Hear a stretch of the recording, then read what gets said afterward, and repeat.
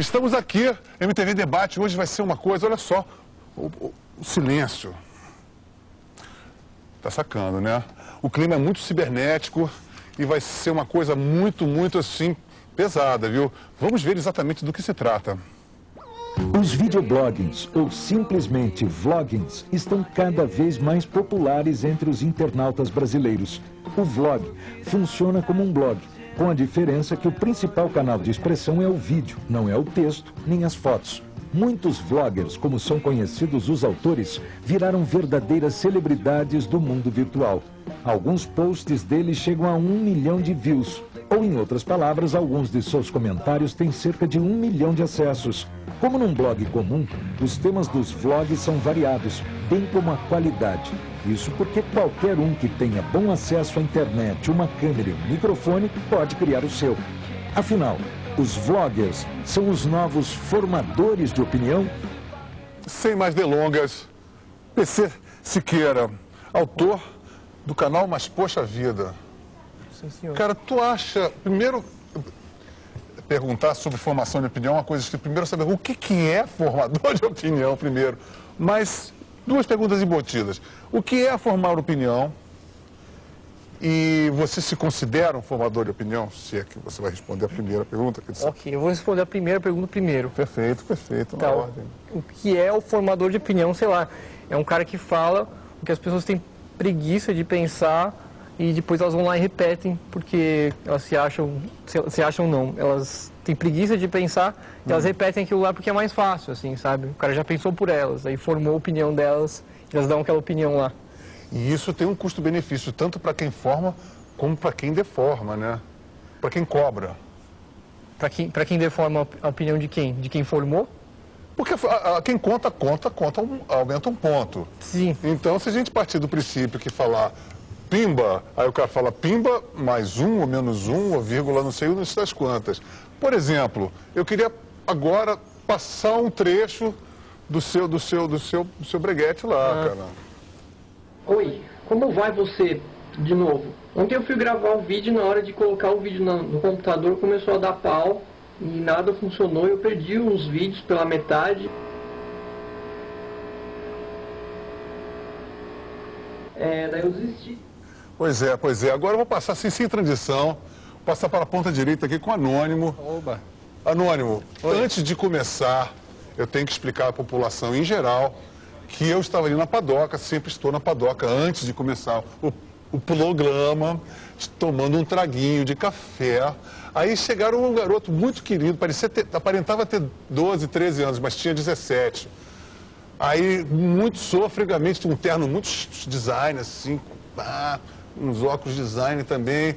Aí me deu um, me deu essa trolha aí que eu pensei assim, aí dá pro anônimo, eu pensei com a minha, minha mente suja e deturpada, falei, é para botar na bunda dele, foi sacanagem. Não, é que ele adora, ele adora esse biscoitinho mesmo. Anônimo, como você é a palavra? Aí está o seu, o seu presente. O que, que você vai fazer com esse biscoitinho? Você é fã desse biscoitinho, Anônimo? Bom, normalmente pra comer, né? Ah, mas poderia ser um cofrinho. Agora biscoito?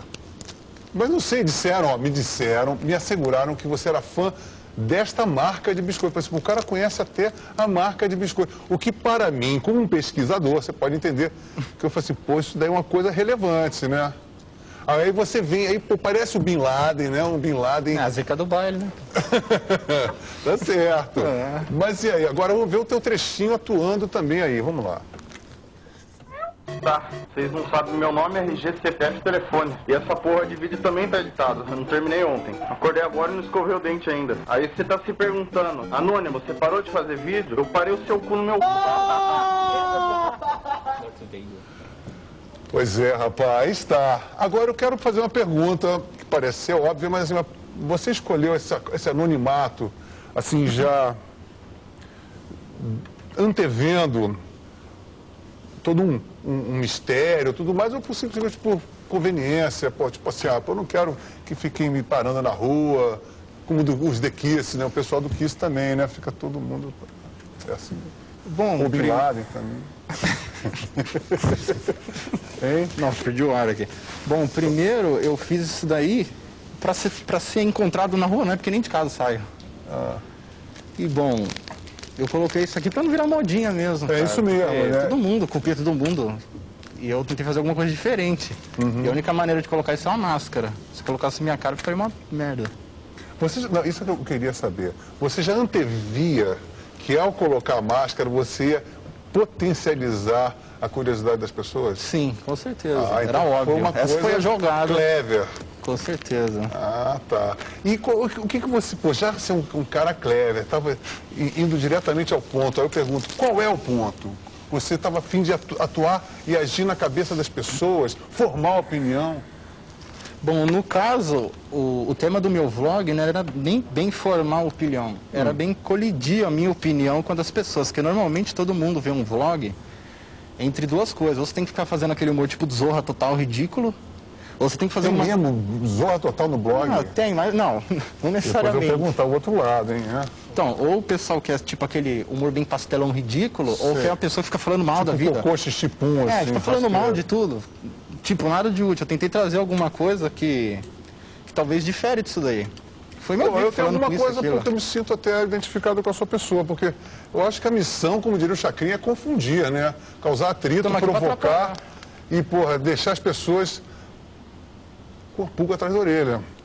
Então vamos agora para a nossa única lady da, da bancada, né, cara? Gabriela. Seu canal é Ga- Gabi Disse Oi, é isso? Gabi é Gabi, né?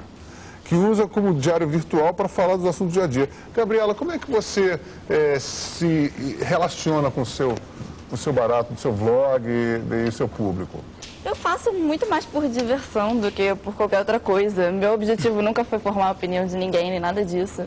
É só pra me divertir.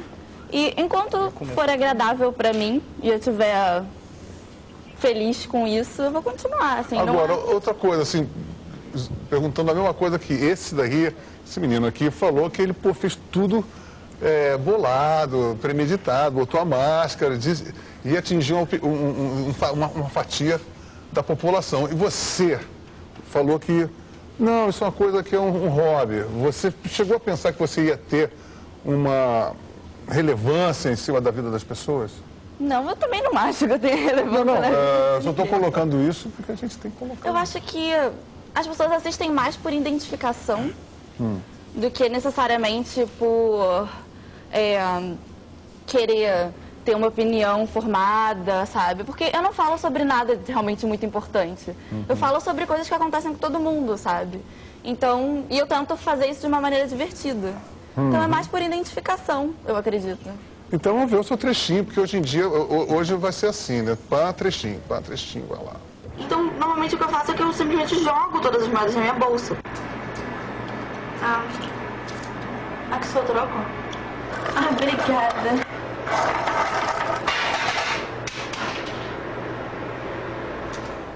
Bacana, bacana, pô. Agora eu vou dar uma pulada, meu querido Felipe Ne- Neto, porque já já é um homem da casa, né, Felipe? Vou falar com o Ronaldo, o- Ronald Rios, né, Ron- Ronald? Você é conhecido da audiência da MTV, que já fez o seu vlog Badalhoca, que é uma coisa realmente esporrante, diga-se de passagem. Virou programa da casa, comenta o que lhe vem à, vem à cabeça com humor ácido e irreverente.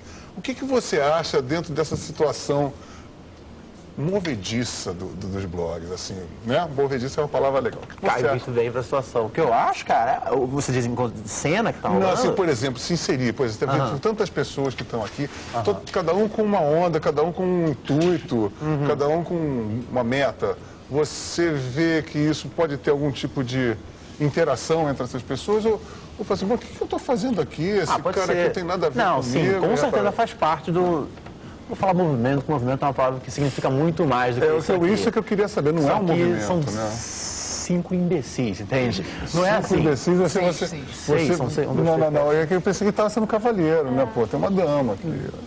Mas, mas assim, mas com certeza faz parte de alguma coisa que tá rolando no É um entretenimento. paradigma, é uma palavra muito ridícula, mas é um paradigma. faz parte de alguma coisa que está rolando no entretenimento. E é bacana, não- acho que a gente não tem muito a ver entre si, mas tem a ver que é mais ou menos o mesmo ideal. O mesmo, não o ideal, mas a, a mesma ferramenta. A gente está fazendo a mesma coisa. De forma diferente, mas Sabe, no mesmo olhando pra canal. tua cara agora, me viu uma coisa per- assim, que eu vou agora passar pro, pro Denis, Denis Lee. Puta, minha cara acabou com tudo, então. Não, cara, sabe que Olhando você pra vai... sua cara, eu vou olhar pra aquela outra Não, pessoa. mas eu tô editando, é tudo ao vivo, a gente tem que botar no peito e rolar no gramado. Ah, no primeiro, vamos